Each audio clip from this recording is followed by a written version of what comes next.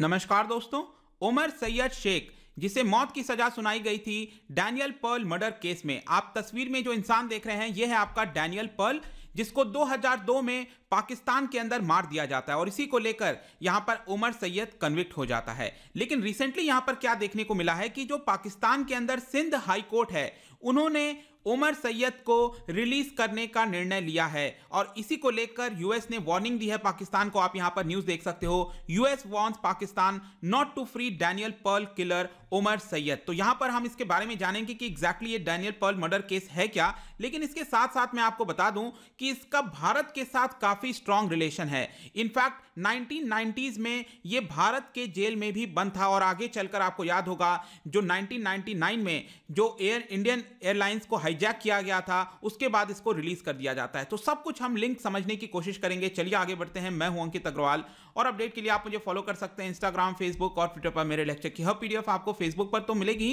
Plus साथ में आप मेरा टेलीग्राम चैनल ज्वाइन कर सकते हैं by searching Ankit Agarwal official और अगर आप यूपीएससी की तैयारी कर रहे हैं तो आपके लिए सुनहरा मौका है। स्टडी आई आपके लिए स्मार्ट कोर्स है जिसके थ्रू आप अपनी प्रिपरेशन और भी ज़्यादा अच्छे तरीके से कर सकते हैं। तो सबसे पहले समझते हैं दोस्तों, ये आखिरकार न्यूज़ वापस से क्यों आया है? तो जो ब्रिटिश बॉन्ड ध्यान रखिएगा ब्रिटेन में इसका जन्म जन्म हुआ था अहमद उमर सैयद शेख का। इसको कन्विक्ट कर दिया गया था ऑलरेडी 2002 का जो डैनियल पर मर्डर केस था, मैं इसके बारे में आगे आपको बताऊँगा। लेकिन थर्सडे की बात है, अभी जस्ट दो तीन दिन पहले पाकिस्तानी कोर्ट ने यहाँ पर उसको रिलीज़ करने का निर्णय लिया है। और ये बेसिकली सिंध हाई कोर्ट की हम बात कर रहे हैं। आप ये देख सकते हो, पाकिस्तान का मैप है। और ये जो प्रोविंस है, ये आपका सिंध और इसी के अंदर जैसे हमारे देश में अलग अलग राज्यों के हाई कोर्ट होते हैं, वैसे ही सिंध हाई कोर्ट ने यहाँ पर उसको कहा है कि तुरंत रिलीज़ कर देना चाहिए। And he should not be kept under any sort of detention क्योंकि काफ़ी समय से उसका जो डिटेंशन है, उसको लगातार एक्सटेंड किया जा रहा था। इसी के लेकर यहाँ पर जो सिंध हाई कोर्ट है, उन्होंने कहा है कि जो डिटेंशन है, वो इनलीगल है। यहाँ पर अभी उसको तुरंत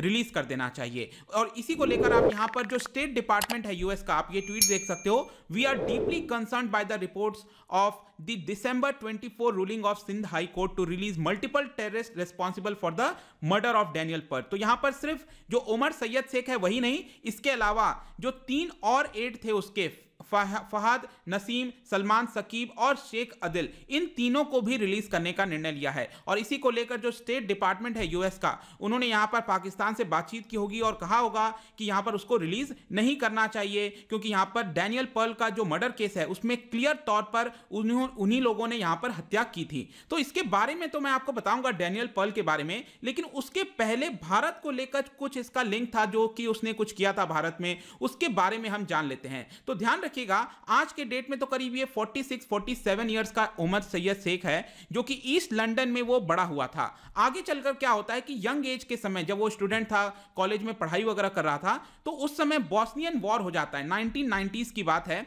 तो उस समय बॉस्नियन वॉर होता है और वहाँ पर उसको ऐसा लगता है कि जो मुस्लिम्स रह रहे हैं, उनके ऊपर प्रताड़ना की जाती है। तो वो क्या करता है, ड्रॉप आउट हो जाता है कॉलेज से, यूनिवर्सिटी से, और वो इस यहाँ पर वॉर के अंदर रिलीफ एफर्ट देने के लिए ज्वाइन कर लेता है। फिर आगे चलकर उसके जो रिलेशन है, और भी लोगों से जुड़ते हैं, और फाइनली जाकर क्या होता है कि पाकिस्तान के अंदर जो टेरर आउटफिट्स हैं, उनके साथ ये ज्वाइन कर जाता है। अफ़गानिस्तान, पाकिस्तान में इसकी ट्रेनिंग भी की जाती है। और जब इसको ट्रेनिंग मिल जाती है, आगे चलकर 1994-95 के आसपास उसको भेजा जाता है। भारत के अंदर। और भारत में यहाँ पर न्यू दिल्ली में यहाँ पर उसको बोला जाता है कि आप जाकर जो वेस्टर्न टूरिस्ट आते हैं भारत में, उनकी किडनैपिंग कर लीजिए। तो यहाँ पर वो किडनैपिंग भी करता है, जिसमें एक महिला भी होती है बेला नस ठीक है? तो उन लोग को किडनैपिंग कर लेता है और इसी लेकर भारत में जो सिक्योरिटी एजेंसीज हैं, उनको गिरफ़्तार कर लेती हैं स्पेशली दिल्ली पुलिस वगैरह यहाँ पर मिलकर, उसको गिरफ़्तार कर लिया जाता है और फाइनली उसको जेल में भेज दिया जाता है 1994 तो 1994 से लेकर 1999 तक वो भारत के जेल में बंद रहता है। फिर आपको याद होगा 1999 में जो इंडियन एयरलाइंस है, उसको हाईजैक कर लिया जाता है आईसी 814 और इस चक्कर में आपको याद होगा कि हमें यहाँ पर तीन जो तीन टेररिस्ट थे, उनको रिलीज़ करना पड़ गया था। एक तो काफ़ी फ़ेमस है मसूद अजहर, दूसरा है आपका मुश्ताक अहमद जरगार, और जो तीसरा है आपका दोस्तों, वो यही है ओमर सैयद शेख। तो क्या होता है कि वो गिरफ़्तार तो रहता है भारत में, लेकिन इस एयरलाइंस के चक्कर में यहाँ पर उसको रिलीज़ करना पड़ जाता है फ़र्स्ट जनवरी 2000 और जब वो रिलीज़ होता है 2000 में, वो फिर वापस से पाकिस्तान के अंदर चला जाता है। और पाकिस्तान में जाकर वहाँ की जो सिक्योरिटी एजेंसी है, रॉ, जो जो आपके आईसीआई आईएसआई हो गया। इसके अलावा जो जैश ए मोहम्मद है, सभी का यहाँ पर एक तरह से मेंबर के तौर पर काम करता है जैश मोहम्मद, जो टेररिस्ट ग्रुप है उसके साथ। और फिर फाइनली 2002 में वो डैनियल पर्ल मर्डर केस में अरेस्ट हो जाता है। इनफैक्ट ये भी बताया जाता है कि जब वो 2002 में अरेस्ट हुआ था तो ओसामा बिन लादिन के संपर्क में भी वो बना हुआ था। इनफैक्ट मैं आपको यहाँ पर एक और छोटी सी चीज़ बता दूँ। बेसिकली आपको याद होगा जो 26 11 अटैक हुआ था मुंबई के अंदर, ताज होटल वगैरह पे जो मुंबई में पूरा अटैक देखने को मिला था। तो उस समय यहाँ पर क्या किया उसने? एक साल के बाद, अटैक के एक साल के बाद, क्योंकि वो तो 2002 से पाकिस्तान के जेल में बंद था, लेकिन जेल में तो क्या बंद था? वहाँ पर सारी फैसिलिटीज़ उसको दी गई थी। तो वहाँ पर क्या करता है ये? कॉल करता है, हॉक्स कॉल करता है पाकिस्तानी प्रेसिडेंट को आसिफ अली जरदारी।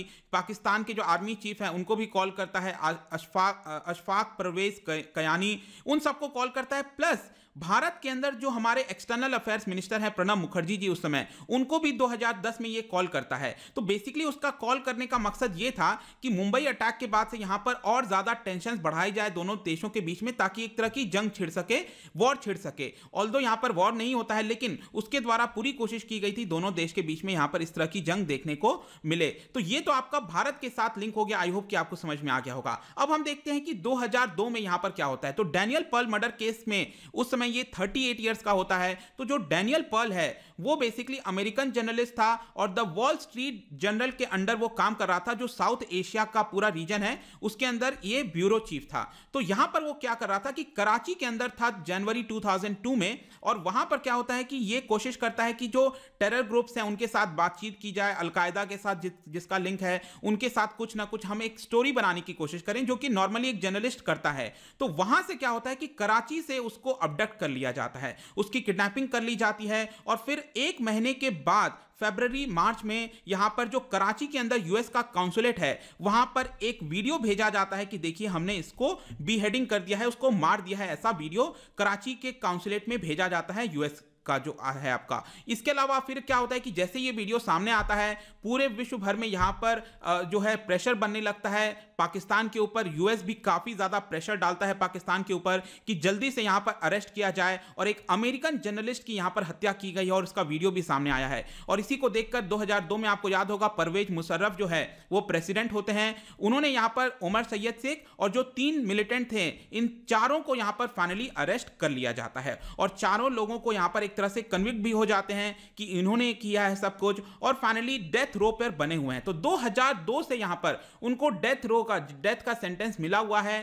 लेकिन फिर भी जो सेंटेंस है, वो आपका जो डेथ रो देना चाहिए था, वो आपका नहीं होता है। अब देखिए, ये जितनी भी चीज़ें हैं दोस्तों, इसको लेकर एक मूवी भी बन रखी है, अगर आप चाहो तो देख सकते हो। मैंने भी देखा हुआ है, उमरता मूवी है। यहाँ पर इसी के बारे में लगभग सब कुछ दिखाया गया है इसके अंदर, आप चाहो तो देख लेना। लेकिन अब क्या होता है, देखिए 2002 के बाद से तो ये जेल में ही बंद है और इसको डेथ रो की सेंटेंस भी मिल जाती है। लेकिन यहाँ पर 2020 में, अप्रैल 2020 में कुछ चीज़ें चेंज हो जाती हैं। अब चेंज क्या होता है, जो सिंध हाई कोर्ट है, मैंने आपको बताया।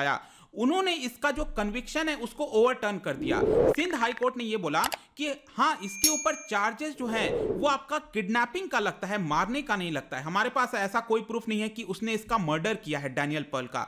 हम मानते हैं इस बात को किडनैपिंग किया है, लेकिन मर्डर किया है, हम शायद ऐसा नहीं मानते हैं। तो एक तरह से उसका जो कन्विक्शन है, वो ओवरटर्न हो जाता है, और जो लेसर चार्ज है वो लगा दिया जाता है और वो लगाया जाता है किडनैपिंग का। सिर्फ़ इसी को नहीं, बाकी भी जो तीन लोग हैं, उनके ऊपर भी सेम ऐसा ही किया जाता है। और किडनैपिंग के लिए यहाँ पर मौत की सजा तो होगी नहीं, उसके लिए उसको दी जाती है सेवन ईयर्स की सजा। सात साल उसको प्रिजन में रहना है, लेकिन आपको क्या मैंने बताया? 2002 से ही वो तो प्रिजन में बना हुआ है तो करीब 18 साल ऑलरेडी वो प्रिजन में रह चुका है। तो एक तरह से उसने उसने अपना जो सेंटेंस है, उसको पूरा कर लिया।